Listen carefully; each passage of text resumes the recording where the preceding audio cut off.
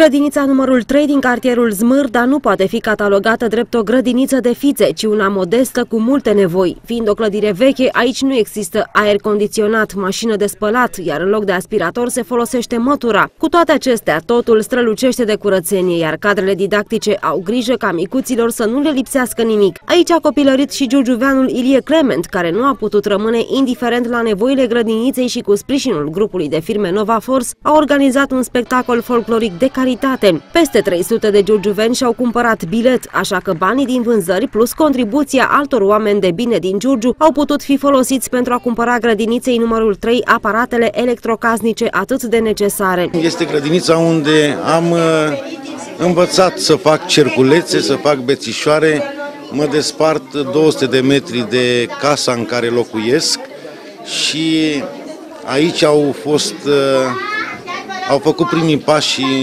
în viață și cele două oficiale mele. Cunosc locația, acesta a fost motivul pentru care m-am apropiat.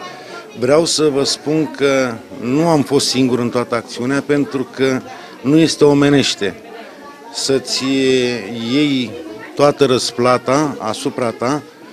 De ce? Pentru că mi-au fost aproape oameni minunați, oameni din Giurgiu, oameni pe care îi prețuiesc cu tot sufletul meu și când spun aceasta mă gândesc la doamna Vera Nicolae, managerul de la ASC Nova Force, mă gândesc la deputatul Nicolae Florian, care niciodată n-au știut să-mi respingă o propunere. Așteptam de mult și mulțumesc din nou încă o dată și domnului Clement, care a organizat un spectacol extraordinar, spectacol acela umanitar, care s-au strâns bani și s-au gândit la această grădiniță.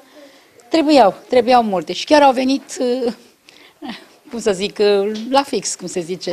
Pentru copii că nu aveam televizoare, uh, când fac serbări în această clasă este foarte mare și trăiau un aer condiționat neapărat. Azi cele trei aparate de aer condiționat, trei aspiratoare, trei televizoare și un frigider au ajuns cu act de donație la grădinița numărul 3, aduse chiar de către cei care au participat la actul caritabil din Dragoste pentru Copii. Sunt onorat că uh, în această mare zi de sărbătoare, 24 ianuarie, uh, oamenii de bine s-au uh, gândit să vină să sprijine acești mici copii din zona, dintr-o zonă, să zic, defavorizată a orașului, dar totodată și istorică, să sprijine cu, să le ofere condiții bune la grădiniță și sunt onorat că acești copii reprezintă viitorul nostru. Mai mult decât atât, ei trebuie să învețe de la noi ce înseamnă spiritul de voluntariat și de dăruire.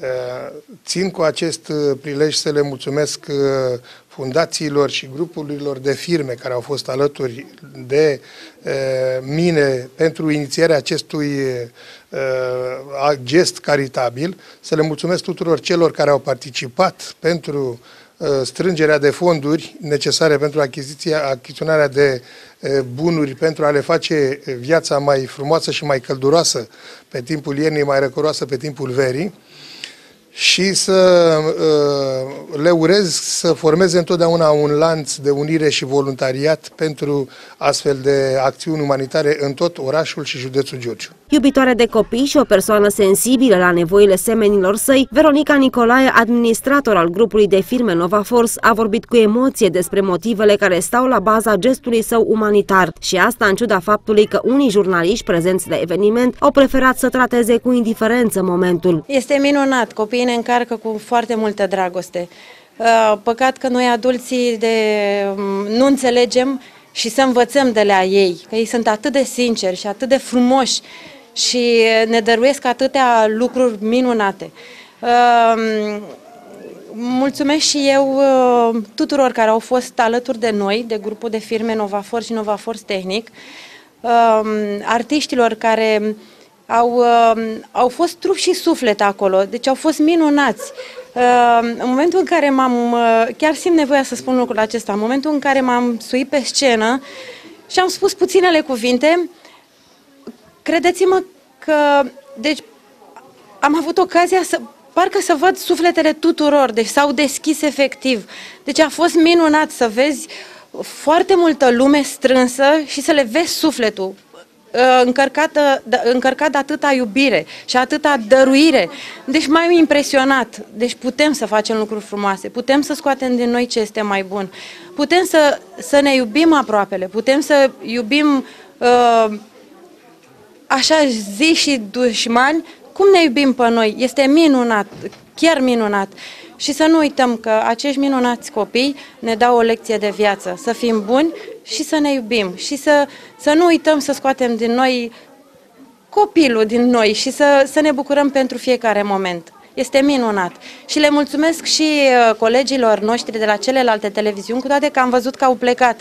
Nu am înțeles, dar uh, le mulțumesc din suflet că au fost aici. Știu că și ei sunt oameni minunați. Electrocasnicele care au intrat în dotarea grădiniței vor fi instalate în zilele ce vin, astfel încât copiii de aici să poată privi emisiuni educative la televizor, covoarele să fie aspirate și nu măturate, vara să fie o atmosferă plăcută grație aparatelor de aer condiționat, iar produsele lactate vor putea fi păstrate în condiții optime la frigider.